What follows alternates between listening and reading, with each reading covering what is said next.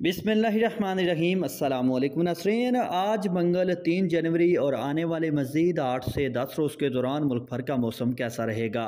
शदीद धुंध और सर्दी की नई लहरों और ख़ास तौर पर बारिशों और बर्फ़बारी के नए सिलसिलों की ताज़ा तरीन अपडेट के साथ हाजिर हों।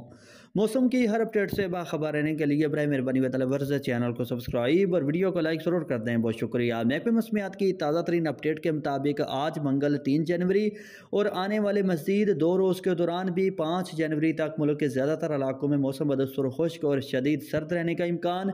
खित पठवार, पंजाब, खबर, पख्तनख्वा, कश्मीर समेत मुल्क के मुख्तलिफ़ इलाकों में सुबह के अवकात में शदीद कोरा पड़ने की तो जबकि एक मरतबा फिर से मुल्क के बेशतर मैदानी इलाकों में शदीद धुंध पड़ने की तो भी है।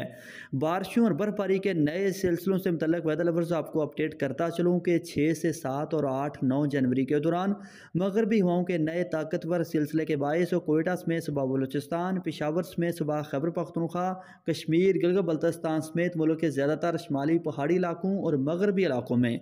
अच्छी बारिश और पहाड़ी इलाकों में ज़बरदस्त बर्फबारी के इम्कान बाज़ इलाकों में ज़ालाबारी भी हो सकती है। इसी दौरान मरी रवलपिंडी इस्लामाबाद खिता पठवार समेत सुबह पंजाब के बेशतर इलाकों में भी बादल आने, लेकिन बारिश के इम्कान सिर्फ़ कहीं कहीं होंगे। सुबह सिंध और पंजाब के बेशतर इलाकों में फ़िलहाल किसी खातर खा अच्छी बारिश के इम्कान कम है, मौसम बदसूर खुश्क होगा।